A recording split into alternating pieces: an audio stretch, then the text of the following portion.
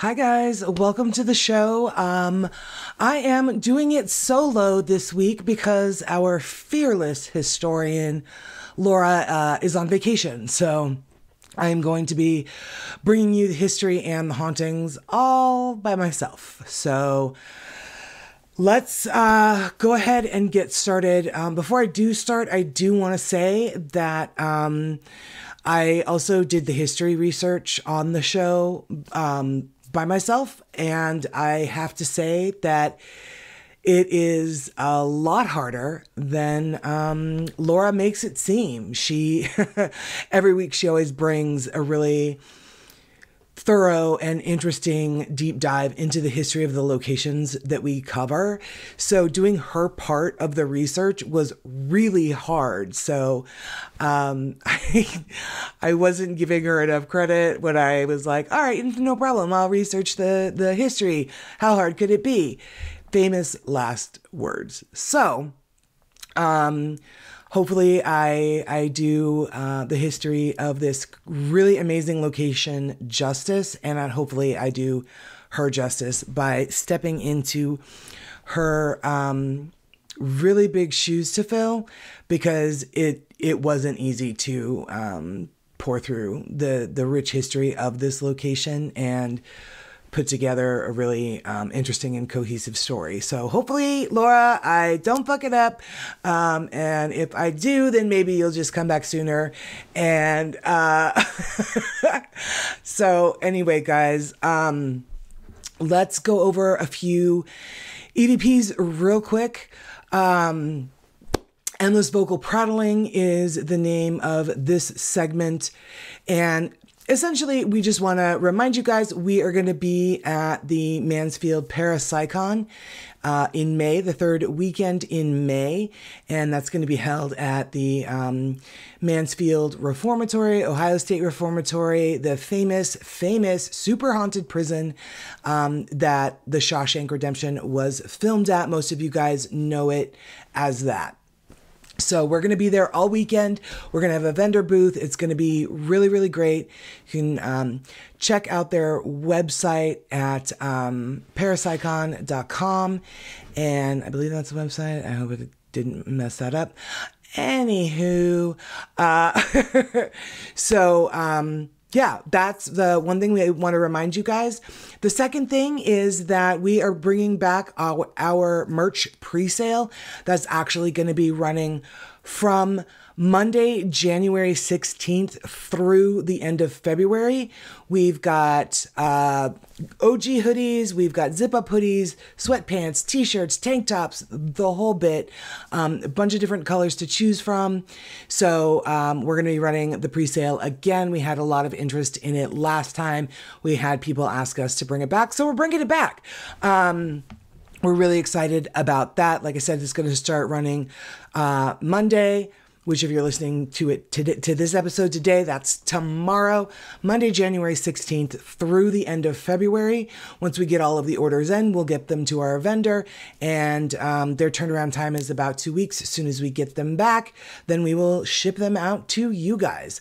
So, um, yeah, I believe that's it. Usually Laura reminds me of something, or I remember something later on down the line. That's probably going to happen again today. So, to that end, guys, let's talk about where we are taking you today. It's a really fantastic location. So, we're going to be taking you guys to Spike Island in Ireland. And this location is known to be or described to be the um, island's Alcatraz. Uh, so I'm really excited about this one.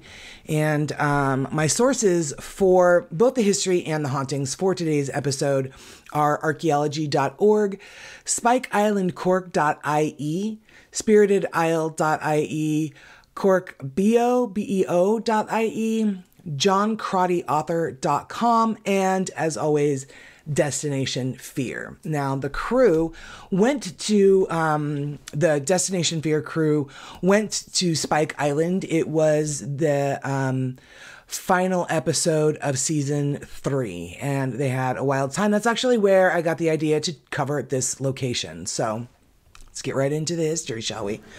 Whew, man, am I nervous? I have never had to do this show on my own, and so I'm hella freaking nervous. So we also do have photo credits um, of the photos that we're going to show and share on our social media. They go to Louise Bunyon, Shea Wolfe, and JohnCrottyAuthor.com. So here we go. All right, everybody, let's hold hands and we'll white knuckle it through this.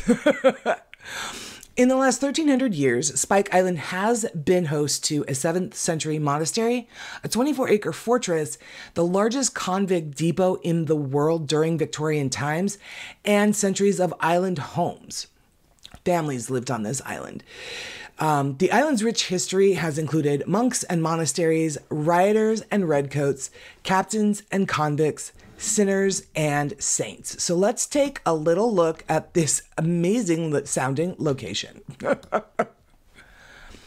so this is um, Spike Island. You can only access it um, from the mainland via a ferry, and it is a lot bigger than it looks here in this picture.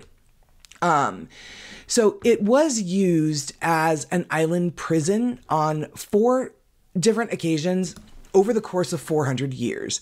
The first one being in um, the 1600s, which held um, Cromwellian prisoners during the tenure of Oliver Cromwell in Britain. So it is um, uh, the second time it was a prison, rather, was in the 1840s and it became the largest prison in the world. There has never been a larger prison in Britain or Ireland before or since. So then the third opened in 1921 and it held over 1,200 Irish Republican prisoners during the Irish War of Independence. Now, the final prison opened in as recently as 1985 and shockingly stayed open until 2004. That's how long this um, island and how long Spike Island was a prison and its four different incarnations of being a prison. So it goes back even further than that, though. So a monastery was built on the island in 635 AD after its founder, Saint Mochuda, also known as uh, Saint Carthage, cured the High King of Ireland and was granted land, um, including Innispick. I am butchering these Irish names and words. I'm so sorry, including Innispick for the forevermore. Uh, so he set up a monastic outpost and spent one year on the island before departing it. He left 40 followers behind to carry on his work, and he founded another famous monastery in Lismore, Count Waterford. The disciples left behind on Spike Island carried on his work with distinction and with later descriptions stating that, quote, that island is most is a most holy place in which an exceedingly devout community constantly dwell. So it had been a safe haven um, with ample safety and sustenance for the monks who farmed the land and fished in the waters. So that was until, I keep saying so a lot, that was until the Vikings came um, and they stormed into Cork Harbor in 820 AD. Um, and at the very least, this likely meant a temporary abandonment of the site. There are reports of um, a, of a monastic community in operation as late as the 16th century, suggesting that varying degrees of occupancy um, were happening on the island across an amazing span of 900 years. So the Cromwellian Conquest of Ireland, which went from 1649 to 1653, was the conquest of Ireland by the forces of the English Parliament led by Oliver Cromwell during the Wars of the Three Kingdoms. Now, Cromwell had invaded Ireland in August of 1649 in a very brutal, very bloody campaign that is often um, maligned and looked down on to this day. So, by May of 1652, Cromwell's parliamentarian army had defeated Confederate and Royalist the Confederate and Royal, Royalist coalition in Ireland and occupied the country. It effectively ended the Irish Confederate Wars, or also known as the Eleven Years' War. So, while many were killed during that, uh, tens of thousands of prisoners were taken, and um, those were mainly uh, the people that um, were accused of aiding the rebellion. So the punishment for many years was transportation or what and when I say transportation and I'm going to mention it often transportation was essentially the banishment to a foreign colony to work a term of indentured servitude. So it became a situation of where to hold the approximately 50,000 men who would be sent to the North American colonies, the Caribbean islands like Jamaica and Barbados. So it appears that Spike Island was the solution, and for the first time in its history, this is when the island became its first incarnation of a prison. So, the first fortification was actually built on Spike Island in 1779, while the American War of Independence was raging on, and the Kingdom of Great Britain was on high alert because of that. Now, over the centuries, many superpowers had attempted to invade England and the Kingdom of Ireland. Um, it was seen as a backdoor for invasion. So, um, the great ships of the age and the global outlook of these modern superpowers made Cork Harbor a very important asset with its ability to shelter entire fleets within its confines. This asset had to be protected, and it had to be protected um, with no less than uh, three forts that would eventually guard the mouth of the vital Car- Cork Harbor. So, the 24 acre star shaped fort, Fort Mitchel, um, was started in 1804 and it is one of the largest of its type in the world. And it was the cutting edge of military technology when it was completed around 1850. So the, the designers chose the distinctive star shaped design, which had replaced the old straight walled design of Norman castles. Um, they were big and impressive, but they were kind of an easy target for um, the ever improving cannon fire that was being developed. So let's take another look at the picture of Spike Island. Let's see here. Okay. So you it's diff- a little bit difficult to see the actual star shape, but you can make it out pretty good in this photograph. The points of the star shape meant that defenders had overlapping arcs of fire over all parts of the island, essentially making the entire island one effective kill zone. So, should an enemy survive the run up, um, the run up of the steep man-made hill, um, and get close enough to the fort, Flanking galleries were built into the sides of the bastions, providing firing positions for defensive troops to fire on enemy troops. So if you take a look, like the angles of the points of the star, there really was no one way that it, it could be you couldn't sneak up on it. Like it was no matter which direction you came from, you were going to get attacked by trying to get close to this fort. So, um, the flanking galleries were infantry firing positions set into the fort walls with narrow firing ports, which enabled the defenders to fire on approaching enemy troops from relative safety. Now, the whole entire fort itself was built with a low profile, setting it down into the island's summit in such a way that it can barely be seen by approaching enemy troops. So, this made it exceptionally difficult to target the fort with cannon fire from ships in the harbor or small arms on the ground. Now, the British engineers had to shave over 25 feet off the top of the off the top of the island to create this. So, um, well over a million pounds was spent on the structure, which would be between 500 million and a billion pounds in today's money. So, this puts the structure on par with modern super stadiums. While the roof at Wembley Stadium covers 11 acres, the fort on Spike Island expands to an impressive 24 acres, just shy of the 28 acres of the American Pentagon. So, the vital strategic importance of Spike Island was being recognized in a fitting way, and it would be for the next 250 years. Winston Churchill actually declared in 1938 that the island and similar defenses at Berehaven and Lough Swilly were, quote, the sentinel towers of the approaches to Western Europe. Well, by 1820, the main work of the halls, or I'm sorry, the main work of the walls, the bastions, and some accommodation blocks were complete uh, before the funds dried up for military building entirely, not just on this fort, but just kind of overall. But by this time, the imp- impressive fortress had emerged to defend Cork Harbor.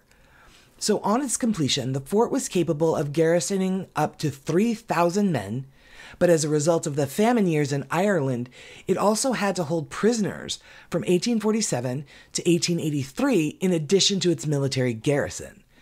Now, after 1883, it returned to British military use.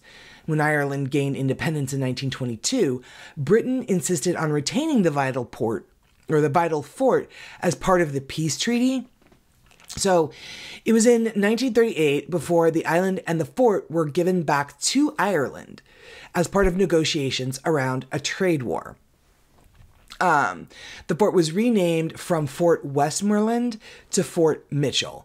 Um, that was following the Irish independence, and it was named after the Irish nationalist John Mitchel, who was a prisoner on Spike Island in 1848. Now, in the mid 19th century, Ireland was in the midst of a crisis. The repeated failure of the potato crop had driven millions of people to the brink of starvation. This catastrophe, that was combined with simmering social, religious, and political tensions associated with British rule in Ireland, forced thousands of people to flee the country every month. Many of them left from the small town of Cobh in Cork Harbor. Now, during the 19th and early 20th centuries, as many as 2.5 million Irish men, women, and children departed from Cobh alone, more than from any other port in Ireland.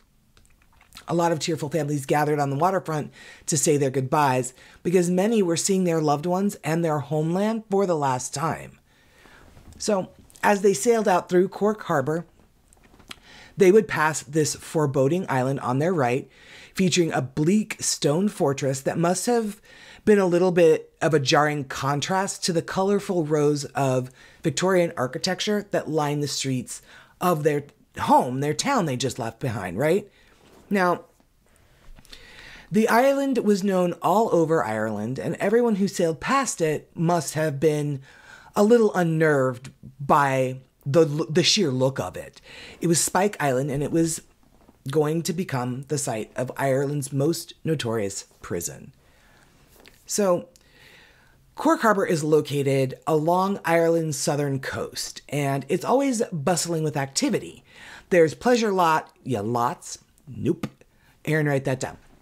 There are pleasure yachts, cruise ships, tour boats, even Irish naval vessels that um, all crisscross its water. It's a very busy harbor. At its northern end lies the mouth of the River Lee and further inland Cork, the Republic of Ireland's second largest city. So in the early 20th century, the harbor scenic town of Cobh gained some notoriety for its link to two famous maritime disasters. It was the last port of call for the Titanic in 1912, and three years later, Lusitania was torpedoed just off its shores. Memorials to both tragedies stand close to its waterfront, so it, it it would be an amazing place to go and visit. Today, Cobh is best known, or yeah, it's best known as the place that you have to catch the ferry. The ferry? Aaron, write it all down. I am, I'm, I'm so nervous about doing Laura's part. it's the best place to catch the ferry to Spike Island, which is now one of Ireland's most popular tourist attractions. In fact, it um, was recently named the most popular European tourist destination over, um, I believe it was the Colosseum in Rome, Buckingham Palace, and um, the Louvre. Like some, it won the best tourist destination over all of those iconic, more well known destinations. So, Spike Island was described by the prisoners who were there as hell on earth. Early on, it was a place synonymous with death. More than 1,000 prisoners perished in its first seven years of operation. Damn. The British, who controlled Ireland until 1921, conceived of the prison as a solution to what authorities saw as the increasing criminality of the Irish people. So, what Spike Island did house um, was hardened criminals and political prisoners. Um, most famously, the Irish nationalist John Mitchel, who, like I said, the fort would later become named for this man. Um, many confined there were petty thieves who had fallen on hard times. Some committed small crimes just to make ends meet. And in the 1840s, even minor offenses could get you sent to Spike Island. As the years went on, some inmates were sent to Australia, some were returned to their homes in Ireland, but many never made it off the island. So, in 2013, University College Cork began a project that included not only excavations at various sites across the island, but they also did a deep dive into government archives, firsthand accounts of prisoners, officials, and guards, and other historical sources. Along the way, they had uncovered evidence of Spike Island's operational deficiencies, deplorable living conditions, and institutional racism. They have also revealed the respectful behavior some prisoners exhibited to, toward their fellow inmates upon their deaths. So, beginning in the late 18th century, the British constructed a series of fortifications strategically located on Spike Island. Um, now, it would only be fully um, it was only partially completed when the work was halted in 1820 like i mentioned and it wouldn't be fully completed until decades later built by the very inmates incarcerated behind its walls. And that's a very common thing. We see that a lot here in the united states with some of our older prisons. Yuma territorial prison is famous for having been built by the prisoners that were going to be housed there. Um, there's a number of uh, i believe uh, trans allegheny um, which is or which was a mental asylum, was built by prison labor. So that's a very common um, thing to have have have had happen back then. Now, around this time, the British penal system was beginning to evolve.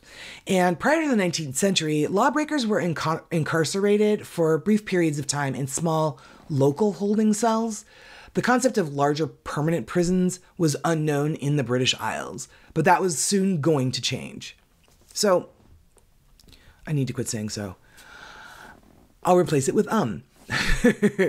Ireland had no purpose built prisons in 1800, but by 1830, every single county had a jail, and all the big the big towns had a city city jail.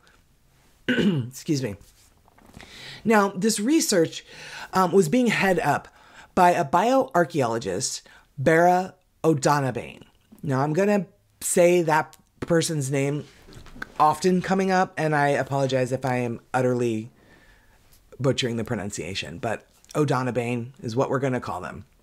Now, he believes that the events of the French Revolution, um, which unsettled the British upper class, um, may have had direct impact on this movement. Quote, it's the fear of the poor, the fear of revolution that does this, he says. It's like they said, we have to make sure this doesn't happen here. How do we do that? We lock them up. It's not a great it's not a great start. It's really kind of not a great end, but Another way the British prevented popular unrest was to simply dispose of the poor and criminal classes by shipping them out of the country. Um, in the 18th and 19th centuries, one of the fundamental tenets of the British penal system was transportation, which I had mentioned in the beginning of the episode. Under this system, people convicted of felony offenses were involuntarily exiled to distant colonies across the British Empire. It was common for an Irishman or an Irish woman to be sentenced to seven years transportation to Australia, where they were deported from Ireland and pressed into penal servitude. When they had completed their sentence, they were freed, but they were not allowed to return home, which I find uh, utterly shocking. Um, hang on with me, guys, for just one second. Okay, so Spike Island played a major role in the British penal system in Ireland, but it was only supposed to be a temporary solution to an ever developing crisis. By the mid 19th century, the British government was running out of places to send Irish convicts. Since the 1780s, they had been sent to Australia, but colonial authorities there were growing wary of the practice and they began to resist it. Because it took longer and longer to find suitable places to send Irish criminals, Irish jails became exceedingly crowded and increasingly dangerous. Another factor contributing to the overcrowding was the Great Famine, and that lasted um, in Ireland from 1845 to 1852. This catastrophe caused the deaths of up to 1 million people, but millions of others were driven to wander the countryside in search of food. Many of them resorted to crime in, other, in order to survive, stealing food, animals, and small items to trade or even maybe sell. Those who were found guilty of this were found, um, the charge was felony grand larceny, and they were commonly sentenced to transportation. But many British statutes had not been updated in centuries, and the definition of felony grand larceny had not changed since the 13th century. It was still defined as the theft of any property valued over one shilling, even after centuries of inflation. So it's it's it's equal to stealing like one of those little like five cent Brach's candies at the grocery store that you used to see, and then you are shipped away to Australia for essentially forced labor. Insanity. So this um, not only had it become more difficult to ship Irish criminals away, but the number of them was also growing exponentially. So, to alleviate the stress affecting the jails, the British government looked to the island in the middle of Cork Harbour. So, the island's size, its location, and its fort infrastructure convinced the government officials that it would make a really great place where criminals could be temporarily or held temporarily as transport ships were prepared. However, by 1853, transportation of small time offenders was abolished, and most Irish convicts began serving their sentences at home. This meant that Spike Island uh, ended up housing prisoners longer than was originally planned. Now, O'Donoghue's uh, research and excavations have shown that it was drastically unsuitable for this venture. Spike Island was never intended to hold more than a few hundred convicts for a short amount of time, but it remained open as a prison for 36 years and at its height had a population of around 2,500 inmates. Isn't that a common theme? Isn't that a common theme, guys? Like we hear this all the time.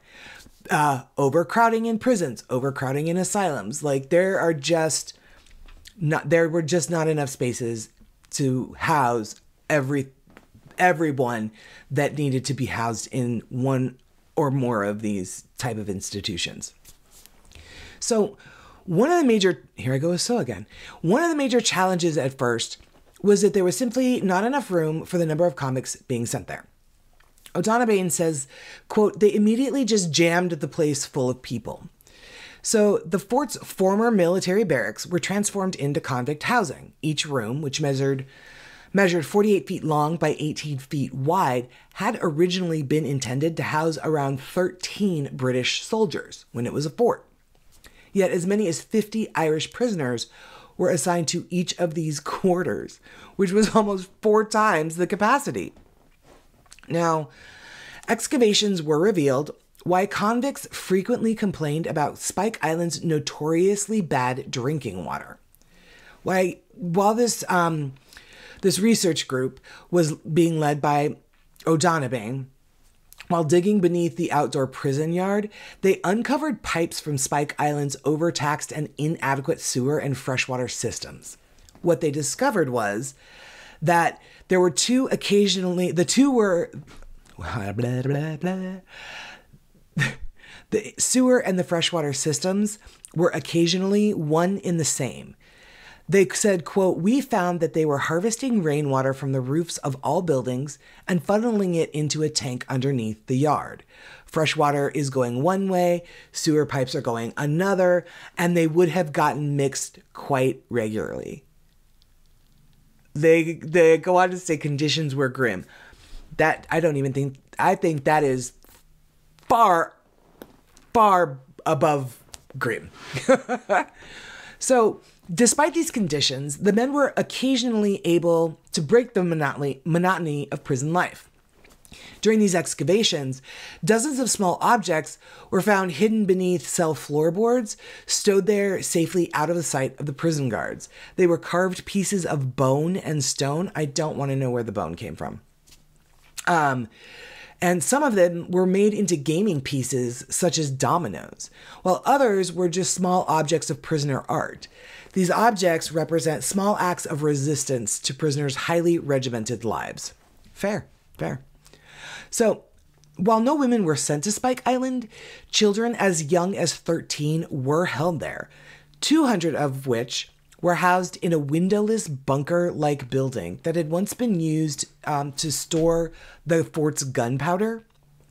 Prison records um, did indicate that most of the youths were sentenced to Spike Island for stealing items as trivial as umbrellas, handkerchiefs, or shoes.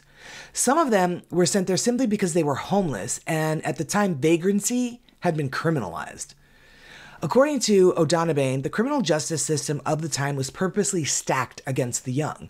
And this is really foul, you guys. Essentially, he said, quote, they were harvesting these kids for the colonies. They were looking for young, fit men and women. They were not going to bother with transporting a 50 year old. It's a waste of time and money. But teenagers, they were prime for the picking. I, I don't love, I, I don't love any of it. So, life on Spike Island was hard, and convicts were forced to work long hours on various government building projects. Um, to help ensure the men's best behavior, each inmate's conduct was recorded on a badge that they were forced to wear on their sleeve. Prisoners who misbehaved were, of course, treated harshly. Um, originally, there was a series of 11 punishment cells.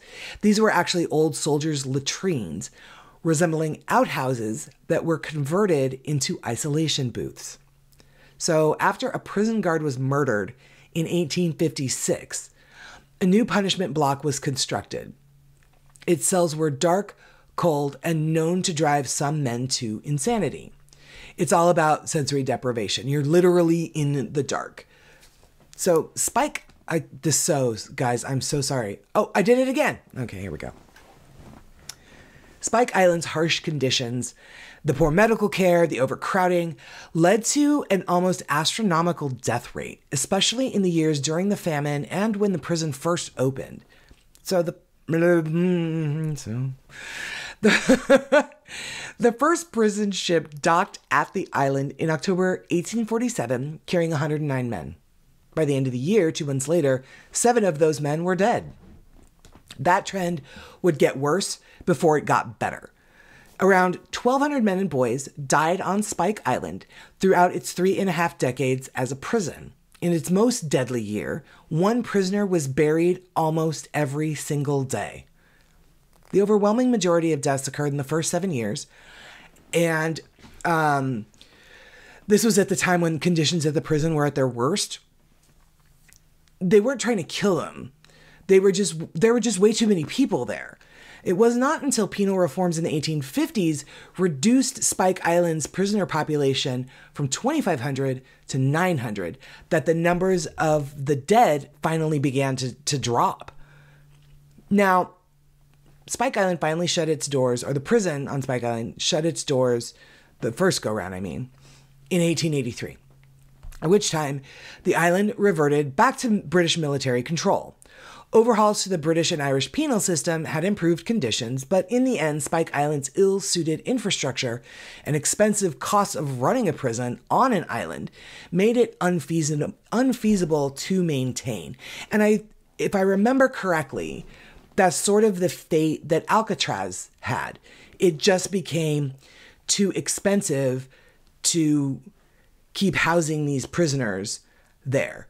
Uh, if you think about all of the different ways and means and things that an island needs to run as a prison, and it's about you know they're they sometimes they had to have sh- you know items and goods shipped there. Obviously, it's an island. There was no easy way, um, and all of that was probably at significant cost for Alcatraz and and Spike Island. It makes a lot of sense. In 1985, after a 102 year hiatus, Irish authorities returned the island to its roots by once again installing a prison there. Maybe they thought they had a better business plan in 1985. I don't know. So, in August 1985, the prisoners had returned to their cells for the night and everything was calm. But an argument had quickly escalated, and suddenly the prisoners were escaping from their dorm rooms or their cells. This article called them dorm rooms in numbers. A major riot was underway, and the prison was actually never going to be the same again.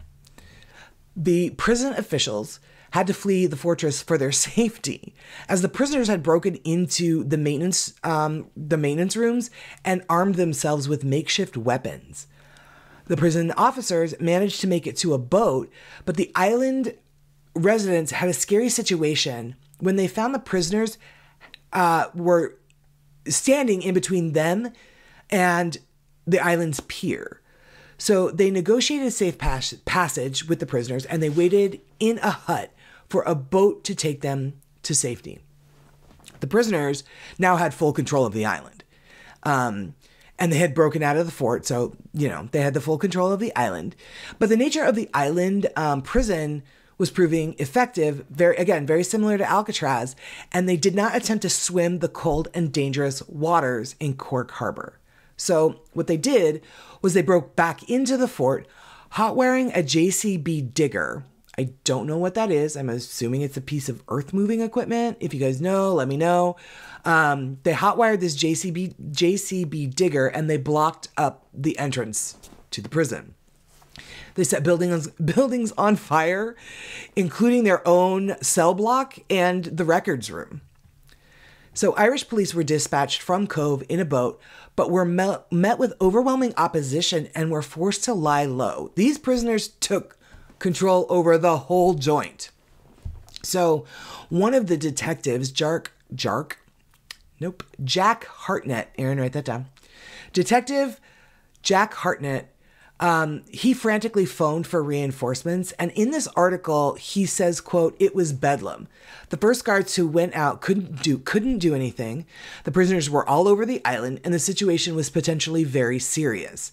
They had set fire to buildings and armed themselves and with over a hundred prisoners this was a deadly scenario now, the riot continued for hours before the prisoners climbed on top of the fort's Mitchell Hall, where they remained for most of the next day.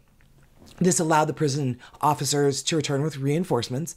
The army also arrived on the island with an armed unit, but they were wisely turned away, as the, situa- the situation was de escalating and it didn't need further provocation, and the presence of the military would certainly derail all of that. By the end of the next afternoon, the prisoners surrendered and the riot was over. Fortunately, nobody was seriously injured, but the beautiful A block, which had stood since 1820, was burned out, as was the west side of B block. Now, there was a lot of finger pointing after the riot, and it was generally agreed um, that the accommodation in the converted fortress was unsuited for prisoners. There were no cells, and inmates were accommodated in the dormitories, which had been used for naval service personnel only.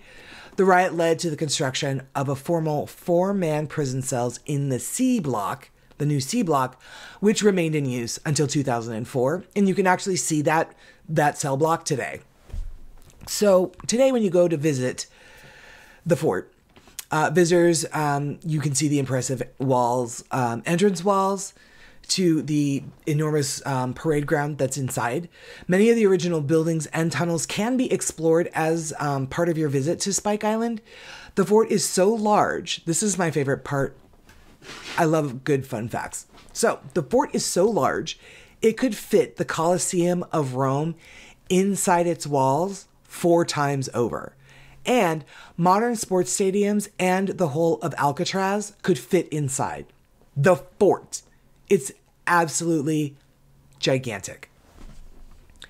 So, with all of this chaos, with all of this history, with all of we've got the monastery, we've got the the military fort, we have um, you know all of the the convicts and the criminals and the famine and the transportation and families having to flee their homes. There's a lot of highly charged energy in this location, which has led to it being one of the most haunted locations in Ireland.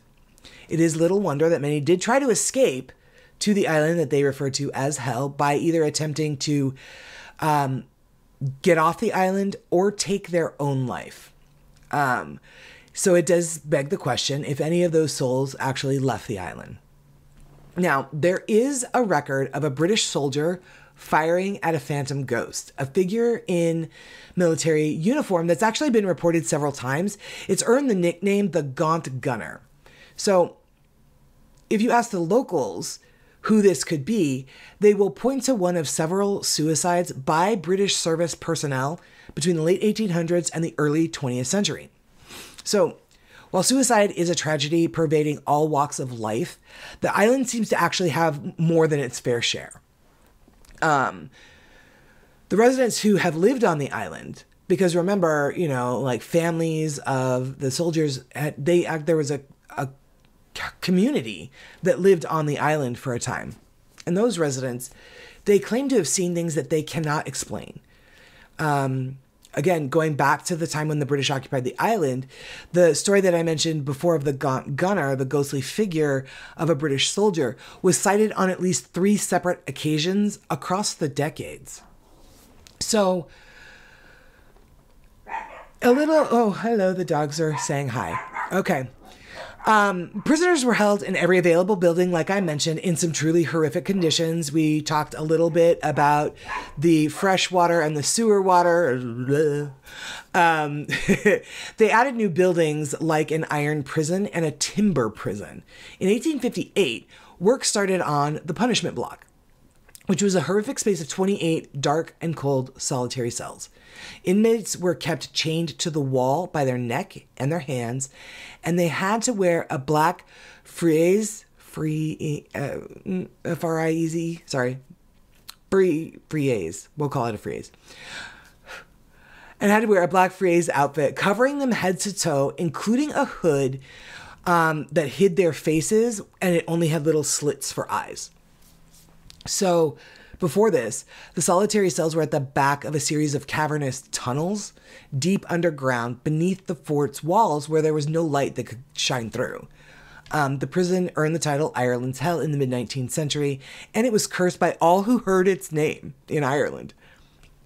So, multiple hauntings are said to afflict it, including the gruesome specter of a man with black holes for eyes who terrified so many people over the years. There are a number of reports of this really horrible looking apparition that had black holes for eyes.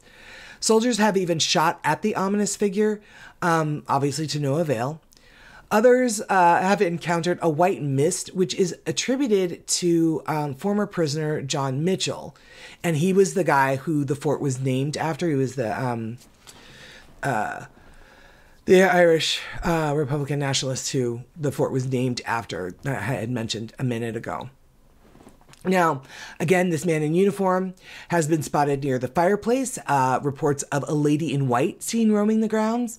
In the 1980s, naval cadets stationed here reported disturbances um, while prisoners in the jail reported to guard complained to guards of a black entity that visited their cell their cells during the night.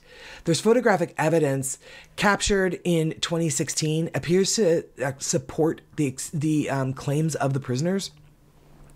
So, as you enter the fort, um, the remains of the former soldiers' barracks is the first thing that you see. The building was burned down in the 80s and 90s during the riots, but and now it can't be accessed by people. Um, the solitary confinement unit um, obviously was used to imprison Irish IRA soldiers. The building had no window, no lighting, no heating. Prisoners were left in solitary confinement for 23 hours a day. Many of the prisoners were driven mad by this, and some committed suicide within the prison cells. And a lot of the tour guides believe that it's their souls that are haunting the building today. So, um, there you can also uh, see the abandoned prison cells. This exhibit is only open to the public during the after dark tours. It remains closed during the day. So, an Irish paranormal, the Irish Paranormal Investigations team detected supernatural activity in the building, many of them capturing at least a dark hooded figure in the distance. Now, cell number 9 is apparently has always been haunted, even when it was serving as a prison. Convicts refused to stay in that particular jail cell because they were use your they were either woken up um, by something or flung from their bed when nobody else was in the cell with them. So, a tour guide that had been on the island working for them for about four years said the spookiest incident she had was when she was working in the storeroom and someone had started stroking her hair. She looked around, didn't see anyone. She continued doing her work, and it happened again. Now, Louise Bunyon um, is one of the the um, folks that I gave photo credit to in the beginning of the episode, and she is the one behind this really crazy picture that she took on um, a Sunday in October in the abandoned jail section of the prison. Um, that block held prisoners in the 1840s, 1920s, and 1990s. So she was doing the after hours, the after dark tour, and she went to snap an image of the empty cell block, and she was surprised to see that her camera's facial recognition feature activated. So when she brightened the image further, it reveals the distinguishable shape of a man seemingly carrying something across the hall. Um, so Spike Island said that their After Dark tours focus on the real history of the inmates who inhabited the prison, but visitor sightings are not uncommon. So let's take a look at Louise's photographs. Let's see if I can get this brought up here. So this is the original, this is the initial photograph that she took. And you can clearly see a human figure down there at the end. It's got like the um the article said that at this point the abandoned cell, this area she's looking at was being lit by candlelight. So you can clearly see there is the a human shape um, that does look like it is carrying something. There looks to be a, a larger object in front of it, object in front of it. Um, but let's take a look at the enhanced photograph. And we're going to put all this on our social media, guys. That is the enhanced. It's lightened. She's zoomed in a little bit. It really, like, you can almost make out eyes and a mouth, maybe even some hair and an ear. You can very see clearly see there's a leg there. I, it's it's absolutely wild. It almost seems like it has materialized from the darkness behind it, it's really quite something. It's really, really quite something to, to look at. La, la, la, la, Um, as far as spirit photography goes, and she wasn't even trying to capture anything, this is pretty, pretty fucking impressive. Um, so, um, again, in the same um, a B um, cell block area known as the abandoned jail. The following image was snapped in 2019. There is clearly something in the image, but the height and shape is inexplicable. So the roof in the building is not particularly low, but it would have to mean that this object, this of the picture I'm going to show you next, would have to be close to over eight feet tall to fill the frame of the camera and the hallway like this. So here's the first shot. Okay. You can kind of see that there is what appears to be a human shaped shadow in the far back of the cell block. Now, here is the photograph enhanced, lightened up. Take a look at that. Like, that is exceptionally tall. It didn't the article didn't really state exactly how tall the height of the the ceiling is, but I've been in prisons before and jails before. The the ceiling isn't isn't low like this one this article said this one wasn't, but that is a, a an exceptionally tall individual. It's entirely possible that maybe I don't know about eight feet, but again, without knowing the actual ceiling height, it's hard to it's hard to guess how tall the shadow figure might be. But it's pretty crazy. I uh, I I'm I'm a big fan of this one. This one I think is really really cool.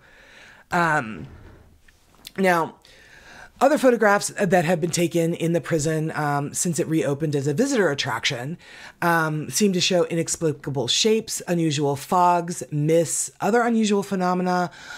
But on an island where there are 1,300 that are buried in mass graves, victim that were victims of an overcrowded famine era prison, um, it's not really surprising. The um, research that was taken by the group that I had mentioned in the beginning, um, the Islands Heritage um, team, seemed to have uncovered several stories of ghostly reports, including soldiers firing at seemingly seemingly phantom intruders. Now, the Irish naval cadets who were on the island in the 1980s also reported strange occurrences during their accommodation. Prison guards from the 1980s reported prisoners used to complain of this black entity visiting their cells by night, and this black entity might actually have been captured in this next photograph that I'm going to show you. It was taken by photographer Shea Wolfe in an empty cell um, of the abandoned the abandoned block. So let's take a look at Shea's picture here. Let's see.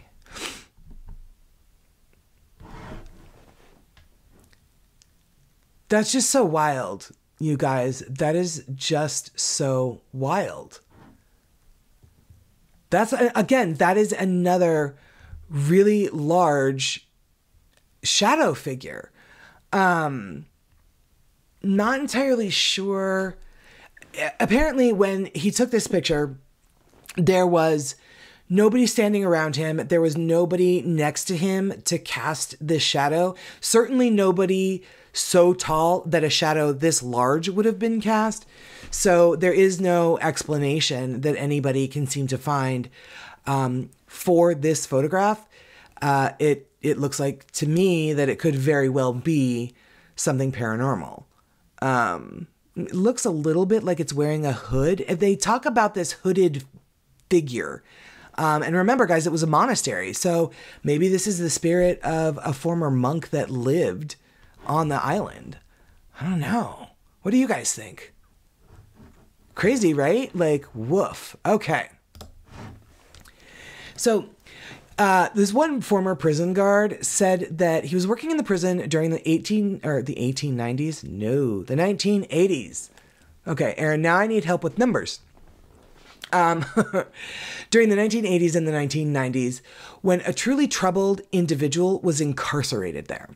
This individual would later be released and go on to commit a horrific trouble or a horrific triple murder of a mother, her child, and a priest in an event that an event that chilled the prison officer and it shocked the entire nation of Ireland. So, while he was incarcerated, the future murderer often complained of being visited by a black entity in his cell. The same claim that numerous prisoners had made over the decades. So the prison officer thought no more of these reports at the time, correctly assessing that he was dealing with a very troubled individual. Um, obviously, the eventual release and the awful crime the man would commit would seem to suggest that he was not given the care he truly needed. But I do find it really interesting that while he was there, he was complaining about this black entity in his cell, just like so many others throughout the years. So, a lot of staff they don't escape the activity that occurs there either one spike island member was doing a routine cleaning in the block leaning over with a, um, a dustpan and a brush sweeping the floor and she was suddenly pushed over tumbling to the floor. She half laughed and was half angry that one of her coworkers would mess around in such a forceful way with her. But when she turned around to confront the colleague, there was no one there. She went to the hall expecting and expecting to see somebody exiting, but nobody was there. She stood alone in the empty old cell block with no explanation for what had shoved her to the ground. Now, needless to say, she booked it out of there and never went back inside. Staff apparently generally generally enters the block in twos, aware of stories of what has gone before them. So nobody ever goes in there by themselves, which I find utterly fascinating. Um, another member, uh, another staff member recalls walking the long corridor of the block and hearing her name called, but turning around and finding herself alone. One other employee named Eddie recalled the disturbing sight of a ghostly British soldier walking the pier with just a torso and no lower half. Um, however, not one single person that has been there, not one member of staff, anything, has ever reported a feeling of anger or danger or bad will against them as far as the ghosts and the paranormal activity on Spike Island. Although I would have to say, as a caveat, the one um, employee who was shoved to the ground might freaking beg to differ. So, um, it, when Destination Fear went there, um, they had, I think, one of the most fascinating encounters that they had was they were investigating. They decided to go take a break and go back to the gear room. When Ashley, Ashley, who the hell is Ashley? Um, Chelsea and Alex, good lord, this is okay. Thanks for hanging in with me, guys. Woof. Um, when Chelsea and Alex stepped outside just to, for a break, get a bit of fresh air. But what they heard and what startled and scared them so bad that they ran in and got Dakota and Tanner was they were hearing gunfire coming off the island. And um, they searched around and they couldn't find anything. There are some cannons that I believe are um, just part of the history of of the island um, that are that are there. I don't know if they are original to the fort. I'm not really sure, but they're they're there so that you know obviously it's a fort and so there's cannons there. But they went and checked those out. They did their thermal. They couldn't find anyone on the island, but they kept hearing guns firing coming from the island, not from Cork across the harbor it was fascinating. Um, I highly recommend if you haven't seen it. It's a really great episode. Uh, get a little bit more into um, the history, some of the hauntings, and some of the things that, that the group experienced. You can watch Destination Fear on the Travel Channel or uh, streaming on Discovery Plus. But I do want to say in closing, guys, and I thank you so much for being here with me and sticking through Laura's part with me. But I want to say um, to close the episode out that it seems that if there are remnants of what went on before on Spike Island, and if such things can occur, then there probably is nowhere more likely that that they would exist on an island with a sense of apathy. Um, that there's no bad feeling that from the spirits for those that come after them. Um, one article said that you can visit it in confidence, but they also said Spare a thought for the 1,300 poor souls who never left the island, who are buried there, some in mass graves. If you do go there interested in the ghosts and the paranormal activity of Spike Island, spare a thought for those 1,300 poor souls. So the nighttime tours are for 16 uh, years old and older. They include the horror of the convicts' treatment, murders, and tales from the punishment block, mass graves, and um, you hear a little bit more about the restless souls that reportedly still inhabit the island. Um, I definitely think this is a location that Laura and I should check out. Um, it's it's pretty it's it's it's something. It's really something. So um, to that end, guys, that is our episode. I certainly do want to thank you for hanging in there with me, Laura. I hope that I did the history justice. Um, I remember when you did Joliet Prison, uh, Archie did the history, and you had to do my haunting portion, and you said how difficult that was, and I thought, oh, it's that's super easy, super easy. But um, yeah, I found that out now by stepping into your shoes and doing your part, which you always do very seamlessly and wonderfully. Um, it is not as easy as you make it look. Uh, so, yeah, um, hopefully I did it and you justice. And, guys, as always, you can follow us on social media. We are on Instagram, Facebook, and the TikTok. Our handles are uh, at HOAH Podcast. For the TikTok, you can also follow us at HOAH Carrie and at HOAH co host Laura. So that's it um, for us, guys. We will um, be back with a brand new episode next weekend. And um, I'm going to be doing my weird story. It's just going to be me. I'm solo. Um, I'm going to be recording that right after this. Uh, but I hope you guys are having a wonderful new year. We're about halfway into January, and hopefully 2023 is treating you right, treating you well.